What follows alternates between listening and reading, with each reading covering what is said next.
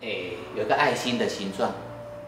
徐必达用心的解说画作，这是他的妻子朱月君自十年前左右所独创的画派直觉画。作画时完全是放空的，完成之后却能从中深刻感受到画者欲传达的情感，且在心灵上得到疗愈。我跟我先生，呃，从毕业之后就是一直在追寻内在心灵层次的呃修行方面。在呃有一次呢打坐之后，然后有一个灵感，很自然的就拿起笔，用直觉，好把那个头脑都放空，好用内在身心灵合一的力量，好跟我们的感觉，好直接作画。那每一笔都是很肯定的，跟一般呃必须用头脑去构思是不一样的。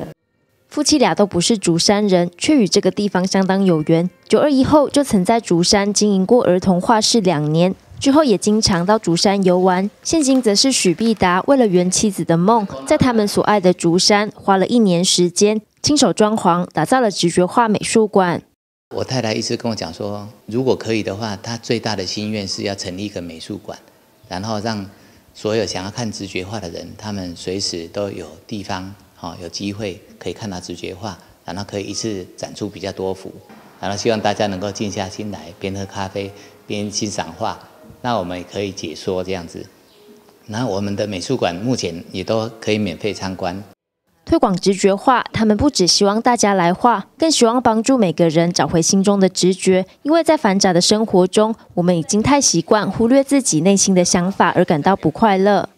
那直觉是属于每一个人的。只是我们已经不习惯去用它，太久没有去使用它，啊，所以直觉化推广的就是说，如果我们每个人可以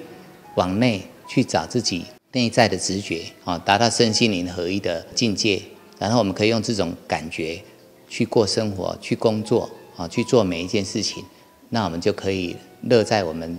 的生命生活当中，在每一个当下得到满足跟快乐。议员蔡柱也欢迎大家有空可以到竹山的直觉画美术馆体验前所未有的放松。竹山镇大智路上有一间朱老师还有他的先生哦，他们两夫妇共同哈来经营的美术咖啡馆，他们里面有很多的作品哈，看他们的作品哈，我们的身心都非常的舒服。也欢迎大家有机会到啊直觉画美术馆来欣赏朱老师的作品，也来品尝他们的好咖啡。竹山的直觉画美术馆目前可免费入馆欣赏，并接受导览。议长和顺丰邀请有兴趣的民众可以到此来走走。